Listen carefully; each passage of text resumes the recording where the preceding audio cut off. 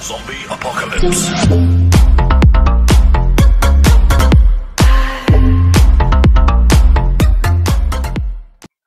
Hello friends, how are you all? Welcome to our new video.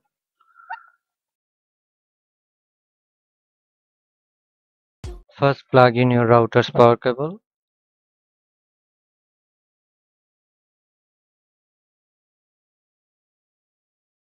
Then connect your internet cable to the router's WAN or internet port.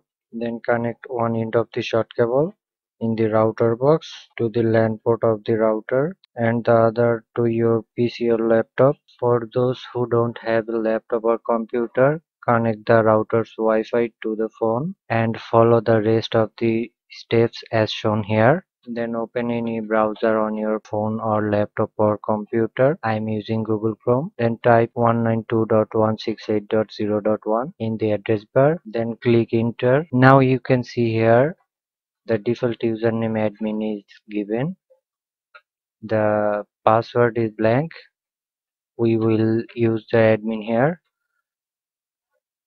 you will use the same click on login so friends now you can see the internet connection type under the internet connection setup. Here is the DHCP option. From here we will select PPPoE option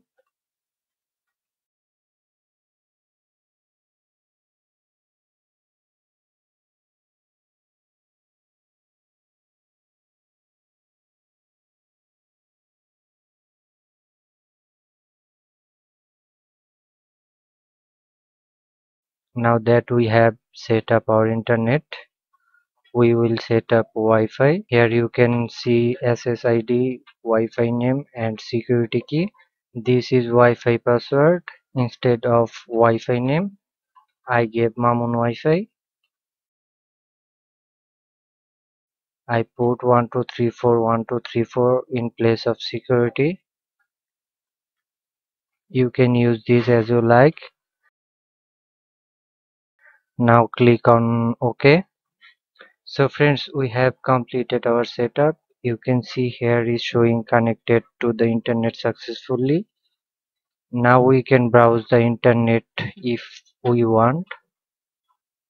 So friends you have now learned how to set up a Tenda router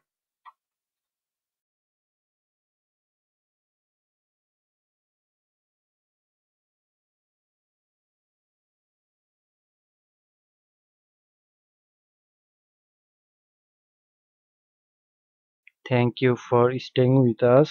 Please like, comment and share and subscribe our channel and press the bell icon for new updates.